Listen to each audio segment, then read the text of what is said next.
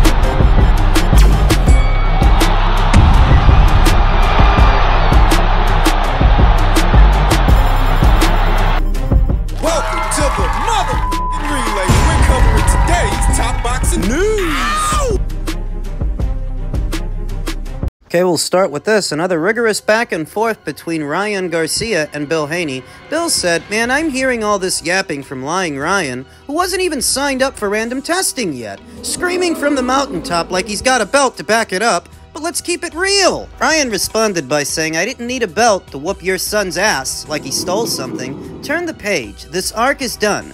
Goal was to put a whooping on your son. I did. I know in my heart I never took steroids. However, it showed up in my system is a mystery. What is a little weird though is how your other son knew about the testing before the public, before you, and even before VADA testing, which your bitch ass never acknowledges. Very fishy. But who cares? I'm over it. I'm trying to continue my career and move on.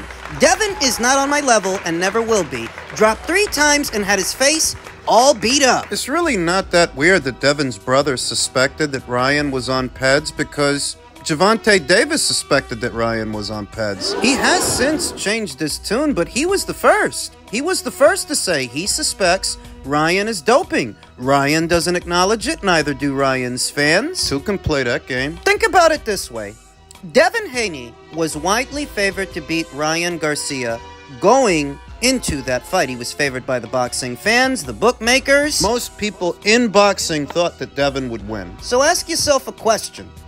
If Ryan Garcia is implying that Devin Haney somehow tainted his samples Why would he have to? before the fight, beforehand, why would Devin Haney taint his samples in a fight that he's widely favored to win by everyone? That doesn't even make sense. Nothing about what Ryan says makes sense. People just go with it because they're attracted to him. I'm not gonna pull no punches on these weirdos. The only people backing Ryan Garcia's version of the story are content creators looking to siphon followers from him. Clout chases. Guys that want to sleep with him. Gross. Devin Haney tainted your samples ahead of the fight before you beat him to accomplish what? Bill Haney continued, Ryan, you can't win a championship belt, so you wrap a waist belt around your arm and shoot ostarine instead. The fans in the sport deserve better than your excuses. If you're so confident you didn't cheat, show us the receipts and prove it. You've quit before, so nothing surprises me about you. Devin never, ever quits. We're not letting this slide. Do you think a day will come that Ryan Garcia sees himself crowned a bona fide world champion at 147 or 154?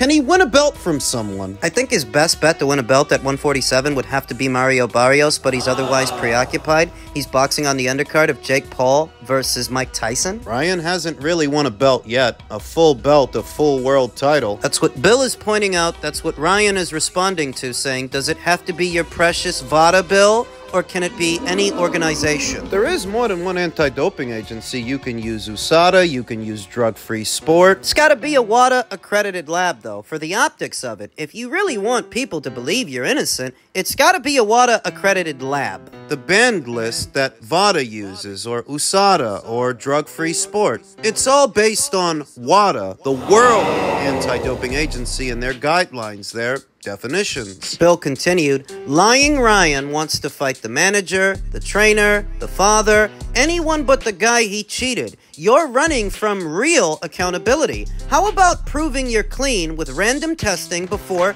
talking about real fights? No belts, no legacy, just excuses. So the other day, Bill. Bill challenged Ryan Garcia to sign up for anti doping testing and he gave him a 48 hour deadline. Ryan responded by saying he doesn't have to listen to anything Bill says. Now, this is after Ryan Garcia said on his TikTok that he's getting ready for the Devin Haney rematch and he's training. Bill responded by challenging him to sign up for VADA. Ryan responded by not signing up for VADA. Make of that what you will. Bill continued, Oscar stopped bullshit. Your clapback took a week and it's still broken. You answered no questions. Ryan said he paid 1.5 mil for the weight issue, but we only got 600,000. Plus, Golden Boy received 1 million in damages, leaving 900,000 unaccounted for. If you want, I'll come over and pick up the 1.9 million right now. Fighters and fans deserve transparency. Settle this the right way. There are no heroes in this story. I don't feel that there are any heroes in this story. Devin is embarrassing and Ryan is repugnant. repulsive. He's everything that's wrong with boxing. But this, this is what the American populace gravitates towards these kinds of disruptive and dysfunctional people, as they are a reflection of the population. The populace. there is some truth to what Bill is saying that Ryan doesn't have a legacy. He wasn't a champion at 135. He's not one now at 140. The best guy you ever beat, you had to blow the weight to do it, and you tested positive for PEDS immediately afterwards. There are some people that are giving you a pass on all of this, but there are others that are not. And if this is the only solid fighter that you ever beat, if this is all you ever do in your career, and this is how it all panned out, that's no legacy. They might be enamored with you now, in the moment. But they're like druggies looking for the next hit. You think you're invincible like they won't get tired of playing with you. Earmark of your generation is its low attention span. And poor work ethic. What I think is, uh, Ryan is not a good fighter. He doesn't have a legacy in the sport right now. He's just a kid who's popular right now. Right now. I don't get the sense that based on what he's done so far, he can be remembered like a Fernando Vargas or an Oscar De La Hoya because those fighters had legacies. He doesn't. He's like a Vine influencer. You guys remember Vine? Do it for the Vine. And it was fun for a time. A lot of people had fun with it. And then it fizzled out. People moved on. Some of the content creators found other kinds of content to create on other platforms. Some didn't and faded away. I just feel like that could be Ryan if he doesn't add something substantial to his quote unquote legacy because so far he hasn't really done anything. Oh, sure, it's fun that he beat Devin now, but in a couple of years, people might not care. Your best win is a win where you blew the weight and tested positive for a banned substance? What kind of legacy is that? No legacy at all. Nevertheless, it's these kinds of disruptive and dysfunctional people that the American populace is more interested in, so there is still a lot of money in a Garcia versus Haney rematch if it happens. I'm really not that interested in this kind of garbage. This is just another story in the sport of boxing, something else that's going on. I don't actually give a shit about either side. In men's super lightweight news, Bob Arum on Teofimo Lopez claiming that his contract with Top Rank is invalid. Teofimo sometimes acts like he's got a screw loose. I like the kid, but I can't figure him out, and he makes no logical sense. He signed an extension with us first, with the Jose Pedraza fight that didn't happen. And then, when we did another fight with Sandor Martin, he signed the same extension. So it's there in black and white. I assume he showed the lawyer the first contract and not the second. Dealing with Teofimo is like dealing with Alice in Wonderland. It's what it's like. Teofimo, in his fashion, has a way of making otherwise uncomplicated situations complicated. And we've talked about it to no end here on the channel. The crux of it is that Teofimo doesn't seem to want to finish out his deal at Top Rank, likely because he's afraid that he'll lose before the deal is done. And if he loses before the deal is done and becomes a free agent afterwards, that takes away all his bargaining power. He sees that Devin Haney achieved free agency, Shakur Stevenson achieved free agency, but they did so by seeing out the life of the deal. They didn't try to end it prematurely the way that he has, and we've known for some years now that he is unhappy at top rank for a number of reasons. But that's the gist of it. He wants to terminate the deal prematurely. He's trying to find a way out, a loophole, a technicality, a something, because he's afraid he's going to lose his next fight. Don't forget what they wanted to do. Last month, they wanted to put him in the ring with Brian Norman. Tio killed that fight. To do absolutely nothing and fight absolutely no one. The way he's been occupying his time is doing the rounds on social media, podcast after podcast instead of a fight, squandering his time. Call out after baseless call out, knowing that he's still under contract with Top Rank. He's not at liberty to move around. He's not at liberty to do whatever he wants. And this is what I've pointed out in episode after episode to no end. the people who don't seem to want to understand. a different angle of this same conversation. Teofimo knows what his limitations are. He's struggled enough in enough fights that his bad performances outnumber his good ones. His good ones against Vasyl Lomachenko and Josh Taylor are outweighed by how he looked with George Kambosos, how he looked with Sandor Martin, how he looked with Jamaine Ortiz, and Steve Claggett. He struggled. This is what a fighter does when he smells a loss coming. This is what a fighter does when he knows he can't really hack it. He looks for a way out. Wouldn't it be easier to just see out the life of the deal and achieve free agency that way? And no, not if you're Teofimo, because if you're Teofimo, you might lose. That's why such a pain in the ass. Being honest with you, I am growing less and less concerned with the career of Teofimo Lopez as time progresses because it's clear there's nothing to be excited about there. He's not going to unify the super lightweight division. In all likelihood, he's going to be just as careful as a welterweight. You say that it's business, you pretend that it's business, but it's not. How often business is brought up in the American boxing scene as code for cowardice. Teofimo is at a point to where I wouldn't even trust him to beat Alberto Puello for his WBC. He's hit a ceiling, and underneath it all, I think he knows that, which is why he's being such a pain in the ass. What it reminds me of is when Mikey Garcia tried to do the exact same thing many, many years ago. He tried to terminate his contract with Top Rank early, and it ended up costing him two or three years. People tend to forget that in between the time he has it out with Top Rank and he migrated over to the PBC, there were about three years in there that he lost. And time is the one thing you don't get back. And why did he want to terminate the deal? Why did he want to leave? I remember it being because Top Rank wanted him to fight either Yuriorkis Gamboa, when Gamboa was Gamboa, or Terence Crawford. It's the same situation with Teofimo. It's the exact same situation. He knows if he sees out the life of the deal, he might take a loss. And if he takes a loss, that hurts his bargaining power. It hurts his stock. He wants to bail before it comes to that. It's the same shit. But boxing fans aren't supposed to be bogged down by this many contractual issues between fighters and their promoters. What part of this is entertaining to you, the consumer, the customer? What about any of this is supposed to endear Teofimo Lopez to the paying public? What? All it does is make him seem like a pain in the ass. That you can never make a fight for this kid without there being a problem. An issue. And underneath it all, the real issue is he's just not that good.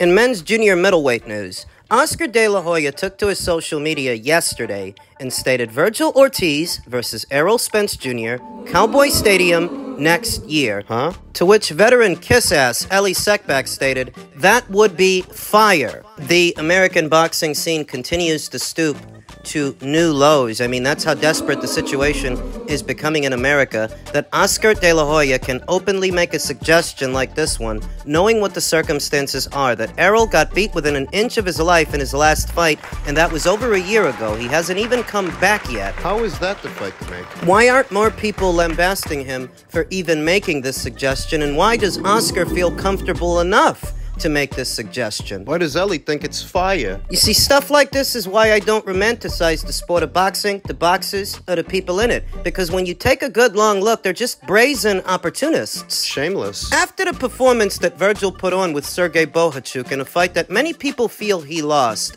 I wondered who would he fight next because he's campaigning as a junior middleweight now, and that's a deep division. There's a lot of potential banana skins. Tim Tszyu slipped on one this weekend. And what was his bid to become a two-time junior middleweight champion, pay attention that Bakhram Murtazaliev put on a signature performance, a devastating win, and instead of recommending that Vergil fight him, Oscar recommends he fights a guy coming off a loss. A devastating loss that was over a year ago. Huh? There are three champions at this weight. Sebastian Fundora is one, Terence Crawford is another, and then there is Bakhram Murtazaliev. And instead of making the recommendation that Vergil fight one of them next year, look at who he's targeting. Like you don't know why. Used to say that boxing is the noble sport, the noble art. There's nothing noble about this suggestion. Very obvious why Oscar would take the time out to make a recommendation like this, why he would be looking to make a fight like this instead of some of the other better fights with the better fighters at the weight. Errol hasn't even fought as a junior middle yet. Coward. That is,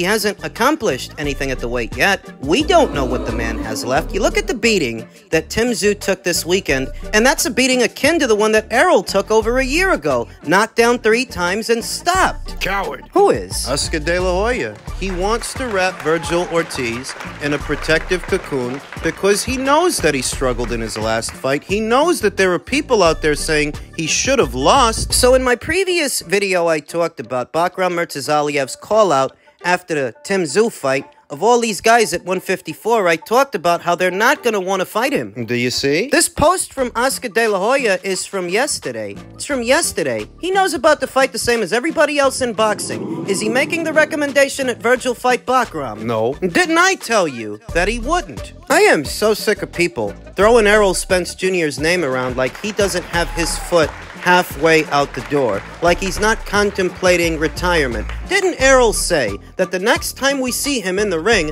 might be the last time we see him? Mm-hmm. Anybody, everybody, looking at Errol Spence Jr. as a potential opponent option in the coming year is looking for the low hanging fruit. They're looking for an easy fight, an easy night, whether it's Sebastian Fundora or Oscar De La Hoya on behalf of Vergil. Cowards. Yeah, yeah, yeah, Vergil's a good kid, but at the end of the day, Oscar De La Hoya promotes him. He's making these suggestions on your behalf. So you're guilty. Not Terence Crawford, even though Oscar's working with Turki Alalshikh and everybody knows Turkey's invested in Terence. He's not making the suggestion that Vergil fight Terence. He's making the suggestion that he fight the guy Terence beat up. And you don't see anything wrong with that. It's just a lot of opportunists, a lot of parasites, and a lot of cowards in the American boxing scene. There is no other way to describe it. You know exactly why you want to make Ortiz versus Spence next year. We all do. I'm not going to beat around the bush. I'm not one of these content creators that relies on access to fighters or their teams to create content. I don't need it. I can sit back and point out how you're scared to match Vergil Tough because of his last fight, because of how he looked. Why else would you be looking at Spence? What? It's obvious what. He's low hanging fruit. You want to give Vergil a lighter touch. 154 is one of the deeper divisions in all of boxing. You're not proposing that Vergil fight the winner of Bohachuk versus Madrimov or challenge for an alphabet title against one of the three champions at the weight. Bear in mind, Vergil is WBC interim champion. That's a segue for a Fundora fight. And instead of making the recommendation that he fight Fundora, look at what he recommends. American boxing and American boxers just ain't what they used to be. This is a disgrace. Though you won't see many in the American media pointing it out how tactless this suggestion is because they're all sycophants looking for access. Disgusting. I mean, strictly American fighters and American boxing involving Americans. It's almost unwatchable. It's really just the foreign guys that want to fight in real fights against real fighters. Roll the dice. It's the foreign guys that have my attention. American boxing. American boxing is a joke.